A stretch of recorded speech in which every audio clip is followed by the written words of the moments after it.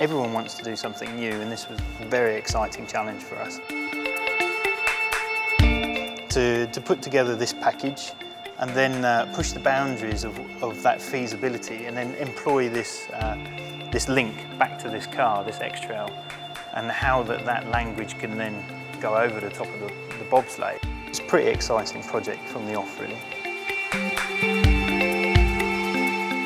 Here what we've done is we've really concentrated on, on bringing some of those elements we saw earlier in the car. How can they uh, add this X-Trail character?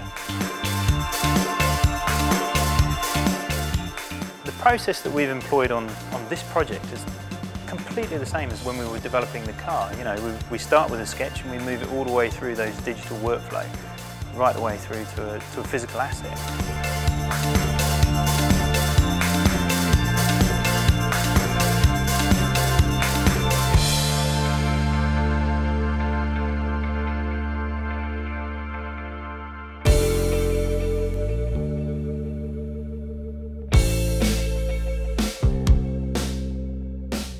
I'm uh, Diego Menardi. I'm a steel fabricator from uh, Cortina, Italy, and uh, I've been building bobsleighs uh, in the past uh, many, tw 25 years. So what I've been asked here is to build the first uh, seven-seater bobsleigh, and that's what I'm here for.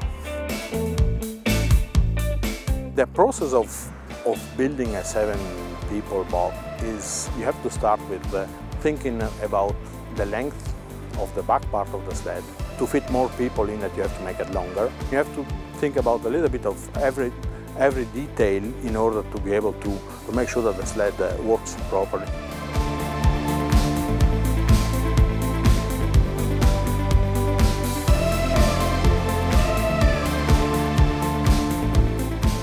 Being a part of the world's first uh, uh, seven-seater bob is very exciting. It'll be more exciting tomorrow when we foresee the sled going down on the ice.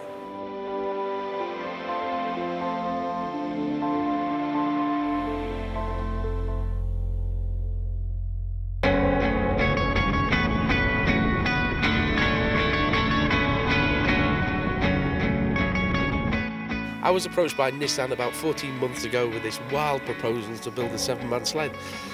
Uh, we were a bit sceptical at first, but hey, here we are 14 months later, sleds on the track, and we're going to test it.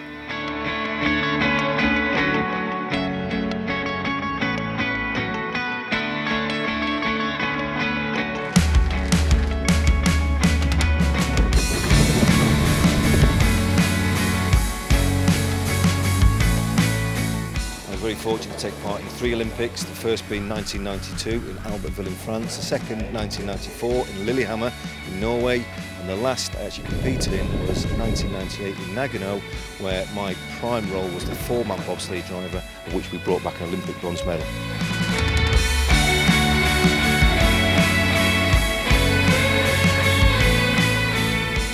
Fingers crossed it's going to be a huge success. I've got no doubts it's going to work. The engineering and, the thought that's gone into it is, uh, is brilliant.